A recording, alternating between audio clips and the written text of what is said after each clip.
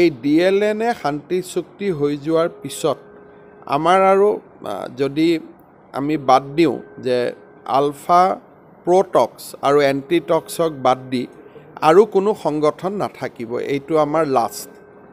গোটেইখিনি প্ৰায় যিমান ক'ব গ'লে বিভিন্ন সময়ত আলোচনাৰ মাজত আছিলে সেই গোটেইখিনিয়ে আমাৰ সমাধান হৈ যাব। আজি সেই শৃংখলাৰ লাষ্ট শান্তি চুক্তি বুলি আমি ক'ব পাৰোঁ। প্ৰ'টক্সৰ লগত ডিছকাশ্যন চলি আছে আৰু মই আশা কৰোঁ যে এই মাহৰ ভিতৰতে মে' মাহৰ ভিতৰতে প্ৰ'টক্সৰ লগত আমি শান্তি চুক্তি কৰিব পাৰিম বুলি। সেইধৰণে আমি আগুৱাই গৈছোঁ। তেওঁলোকক ড্ৰাফ্ট এখন দিয়া হৈছে খচৰা দিয়া হৈছে।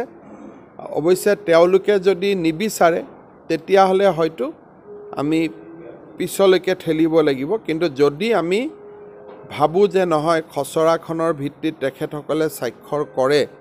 তেতিয়াহ'লে হয়তো মে' মাহতে প্ৰ'টক্সৰ লগত আমাৰ শান্তি চুক্তি হোৱাৰ সম্ভাৱনা থাকিব। আৰু ভাৰত চৰকাৰ আৰু অসম চৰকাৰে খচৰাখন ইতিমধ্যে আমি তেখেতসকলক দিছোঁ। কিন্তু আচল যিটো ডিছকাশ্যন আলফা স্বাধীনৰ লগত সেই বিষয়ে যোগাযোগ আছে।